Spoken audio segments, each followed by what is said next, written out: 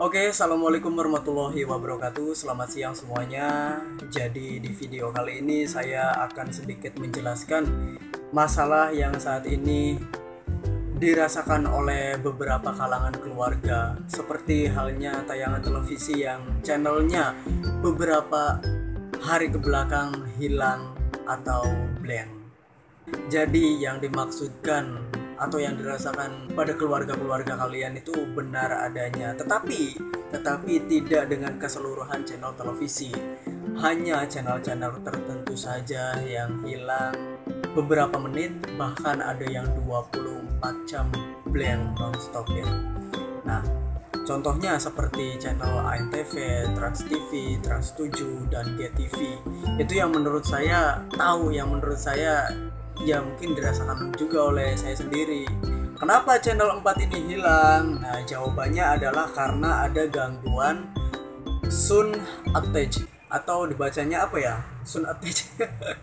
ya pokoknya uh, gerhana satelit lah. Sun attach adalah gerhana satelit atau yang biasa disebut juga pemadaman matahari. Matahari transit atau matahari pudar adalah kondisi gangguan atau distorsi dari geostasioner satelit yang disebabkan oleh gangguan dari radiasi matahari.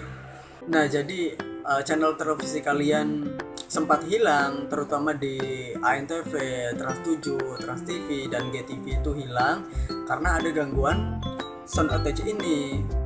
Nah, berapa lama waktu gangguan sound attach tersebutnya?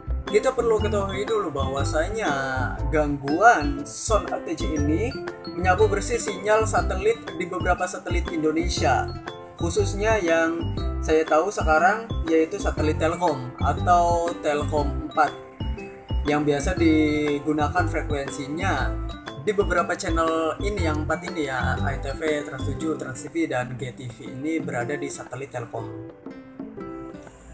Telkom 4 atau Telkom Merah Putih biasa disebut juga TMP atau Telkom Merah Putih. TMP ini berada di derajat 108,2 derajat bujur timur.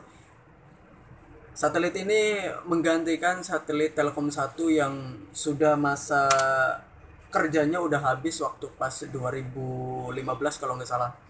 Terus digantikan lagi, diluncurkan lagi, menggantikan satelit Telkom 1 yaitu Telkom 4 atau TMP. Nah, jadi buat para ibu-ibu yang suka nanya, kenapa sih uh, Trans TV atau Trans 7 ini nggak ada gitu hilang. Nah, sebenarnya karena ada gangguan sengaja tersebut. Nah, waktunya, waktunya yang saya tahu ya, waktu yang saya tahu sampai tanggal 24 September. Nah, kalau misalkan ada perpanjangan waktu atau ya namanya juga prediksi itu kan ya diprediksi oleh tim kantor pusat memperpanjang waktu kan bisa saja. Terima kasih. Wassalamualaikum